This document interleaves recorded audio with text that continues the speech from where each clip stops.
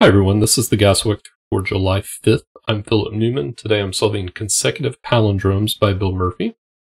We have normal Sudoku rules, 1 to 9 in each row, column, and 3 by 3 box. Additionally, we have some lines in the grid. These are obviously not traditional palindromes. We can't have the same digit in these two cells because they are in the same row. Um, so rather than that, the digits in these cells must be consecutive. Same for these digits, these digits, and these digits. Any pair of digits that are equidistant from the center of a line.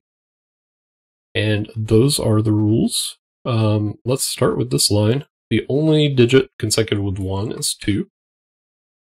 The only digits consecutive with 3 are 2 and 4, but we have a 2 in the row, so this is a 4.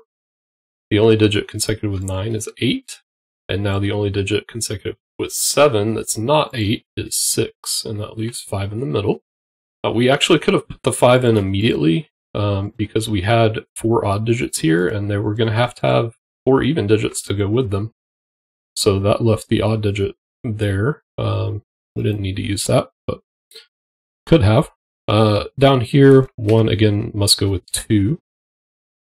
The 8 can go with 7 or 9, but there's a 7 up here, so this is 9. 5 can go with 4 or 6, but there's a 4 here, so this is 6. 4 can go with 5 or 3. This is 3, and this is a 7. Uh, and you can see we're always going to end up with an odd digit in the middle of the line for these 9 cells, um, because our consecutive pairs contain one odd and one even. So that's why we ended up with the last odd digit up here, but we also ended up with an odd digit here, even though we didn't have quite the same restrictions. Um, 4 can't go next to 5 here, so this must be 3. The 7 can't have an 8 here, so this must be 6.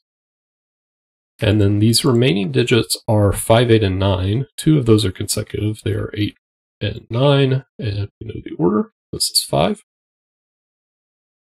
5 here, we have a 4 in the row, so this must be 6. 8, we have a 7 in the row, this must be 9. And now we are left with three, four, seven. so this must be our 3, 4 pair with a 4 there, and it's a 7. So that's the outside of the grid. Uh, the 2 here can't go with 1, so it must go with 3. The 4 can't go with 5, so it must go with 3.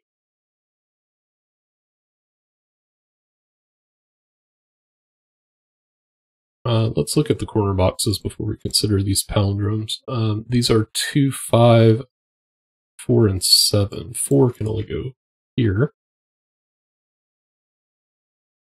Uh, not that limited otherwise. Let's look down here. These are 1, 5, 6, 7. Uh, one of these is 6, uh, and there's a 6 there. So 1, 5, 7 here, 2, 5, 7 here. Um, there are only there's only one way to make consecutive digits here, um, now that we know that. Probably something a little more straightforward here, um, but this must be one, uh, 2, 1, other way around. These are 5 and 7, but there's 5 there, and then that's going to give us 5, 7 down here. This is 9. Finish the column. These are 1, 2, and 8. We know the order of those. All right, up here we need 1, 3, 6, 9. 3 and 9 in the column, and the 3 in this row means 3, 9 like that. These are 1, 6. Um, we know 1 can't go here because it would need a 2, and there's already a 2 in the column, so this must be 6. This could be 5 or 7 right now.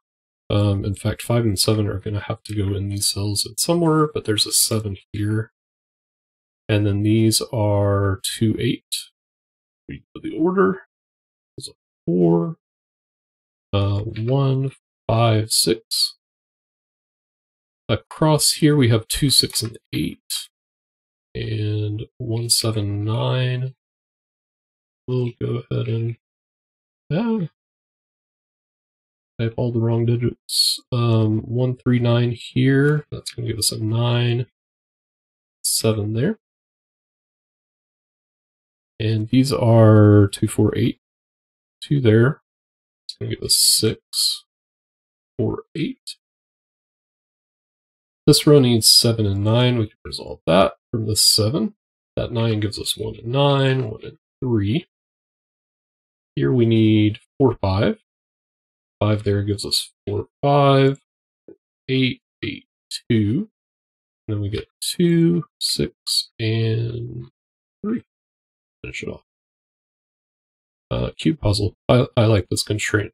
Um, this is the straightforward version of this where it's all in the same row and you can very clearly see what you're doing. Uh, make this a lot harder to scan with uh, more complicated lines, but um, it's a fun variant and nice classic to finish things off. I hope you enjoyed that. Let us know how you did in the comments, and I will see you next time, hopefully on camera.